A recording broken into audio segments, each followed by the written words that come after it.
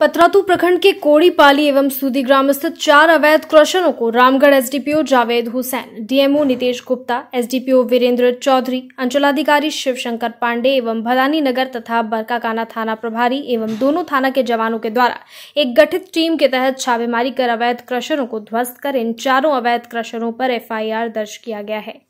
इन चारों अवैध क्रशरों पर बरकाकाना एवं भदानी नगर थाना में एफआईआर दर्ज किया गया। रामगढ़ एसडीएम जावेद हुसैन ने दूरभाष पर संपर्क कर जानकारी लेने पर उन्होंने कहा कि पूरे ज़िले में किसी भी तरह का अवैध कारोबार अब फल फूल नहीं सकता।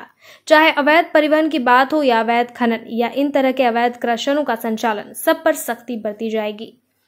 हर तरह के अवैध कार्यों पर अब लगाम लगाई जाएगी। दोषी पाए जाने वाले व्यक्तियों को किसी भी सूरत में बख्शा नहीं जाएगा। चाहे वे अवैध बालू का कारोबार कर रहे हों या कहीं अवैध उत्खनन, वैसे लोग सावधान हो जाएँ और अवैध कामों से अपने हाथ खींच लें, अन्यथा वे दंड के भागी होंगे। पतरातू से जयकिशन पाठक की रिपोर्ट।